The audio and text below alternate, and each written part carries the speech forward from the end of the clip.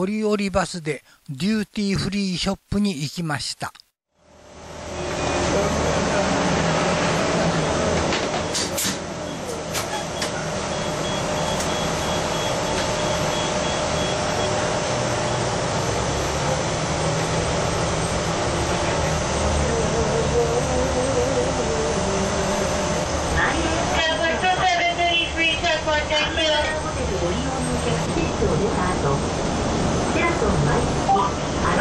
인생인 데,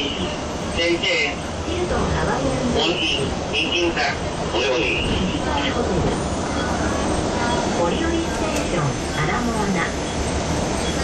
ワールドウェアハウスまで向かいます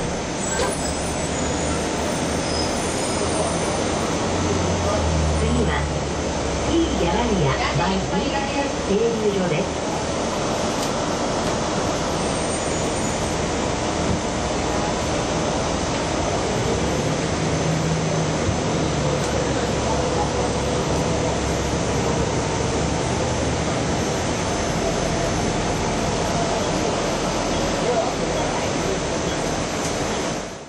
デューティーフリーショップに着きました。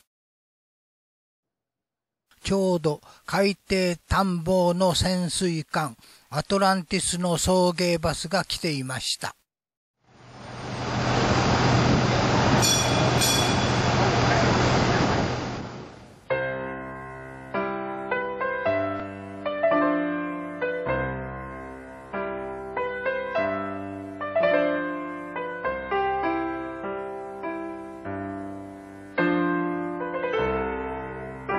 アロファの影が映るペンダントです。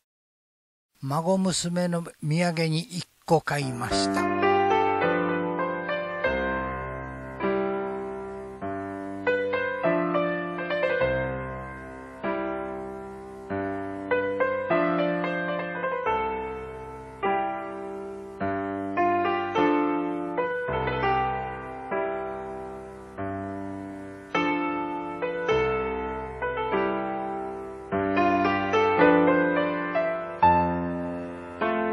海外では珍しくクッキーの試食品がありました。